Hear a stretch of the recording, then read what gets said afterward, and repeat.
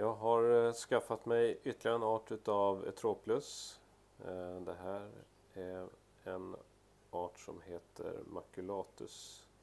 Det finns ju tre arter eh, utav cyklider i Indien och det är Canarensis som jag har sedan tidigare, Maculatus och Suratensis. Det här är en grupp på tio stycken som är fångade i Indien. De finns också i Sri Lanka. Ehm, de blir någonstans runt 8-10 cm. De kallas även för gulcyklid eller tomatcyklid. Tomatcykliden är väl någon form av odlingsvariant som blir mer åt det orangea hållet. De här ska väl bli mer åt det gula hållet som jag har förstått det. Men det beror nog lite på fångstplats och Sri Lanka eller Indien. Jag tror att det eh, finns lite olika teorier om eh, både färger och vilket utav könen som färgar ut verkar också kunna skilja sig från vart de är fångade. Så det ska bli mycket spännande att se hur det artar sig det här. Eh, just nu så ser de ju inte sådär jätteroliga ut färgmässigt. Eh, men jag gillar silverfärgade fiskar. Eh, så att det är inga problem för min del. En vacker dag så kommer det finnas en fisk med en annan färg i akvariet och då är det jättekul. Eh, de här skiljer sig väldigt mycket från kanarensisen eh, på det sättet att de är betydligt tuffare, mycket mer framåt. Det är mycket mer bråkande i gruppen. Eh, vid matning så är de mycket mer på och tar för sig. Eh, Kanarensisen är ju väldigt blyg fisk som eh, ja, vid matning är de väldigt försiktiga. De håller alltid ihop. De här de verkar vilja spöa upp varandra mycket mer. Det ser ut som att det är ett par. Eh, det är i alla fall två fiskar. De ser likadana ut så att det är lite svårt att avgöra. Men jag förmodar att det är ett par. Eh, en av varje kön alltså. Som har tagit ett litet näste där borta vid eh, roten. Där den fisken, det är väl den ena delen utav det paret som är där. Och den andra håller väl på att jaga runt med de här stackars andra fiskarna. Så att de inte ska komma bort dit. Men eh, ja, det är inget sånt här våldsamt jagande hela tiden. Så att det känns som att det blir jobbigt. Utan de, ibland så får någon vara där borta och leta lite mat i sanden. och Så får de något ryck och så ska alla bort bara helt plötsligt. Så att, eh, den här arten eh, sägs ju att eh, de lever, eller sägs, det har de väl sett, men de eh, lever i symbios med den eh, största cyklidarten i eh, Indien, suratensisen, som kan bli upp mot 30 centimeter. Eh, och då går den här makulatsen och putsar suratensisen, tar bort lite parasiter och sånt där. Vinsten för makulatus med det är ju inte att få äta parasiter, för det är ju inte speciellt mycket mat i det. Eh, utan vinsten med det, det är att den kan eh, äta upp ägg och yngel för suratensisen. Och då läste jag i någon artikel om, om eh, de här indiska cykliderna så, så, skrev de lite om alla arter i den artikeln.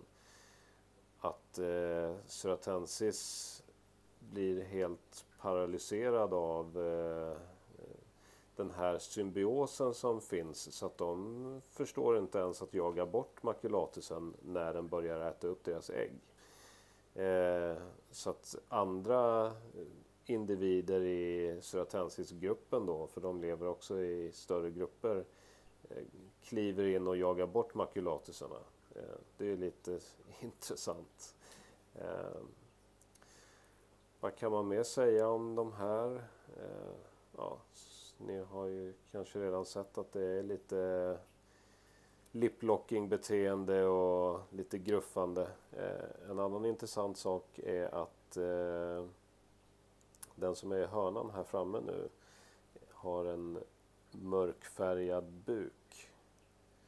Och det är någonting som jag har sett hos mina kanarensis också. Att eh, de får den täckningen ibland. Jag vet inte riktigt vad det betyder än men eh, ja, som ni ser så är det egentligen bara den fisken som ser ut så.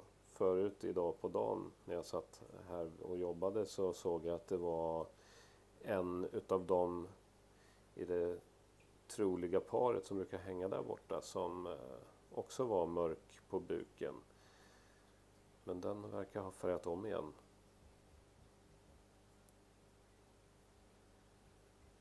Eh, vad jag har hört så ska de som kommer från Sri Lanka när de får yngel så beter sig ynglarna precis som hos diskus att de äter av slemskiktet från föräldrarna. Men det sägs att de från Indien inte har det beteendet. Så det är också en intressant sak att få upptäcka sen om det blir, går så långt att man kan få yngel som överlever i det här akvariet. Det känns rätt tveksamt men man vet aldrig, kanske. De är säkerligen rätt bra på att försvara sina yngel med tanke på aggressiviteten. Ehm. De här går just nu i eh, mittenburken i min ställning som jag har inne på mitt kontor snedstreck akvarierum. Ehm. Eh, den är 145 cm lång, 50 djup och 35 hög. Så i princip har den samma bottenyta som ett 375 liters akvarium.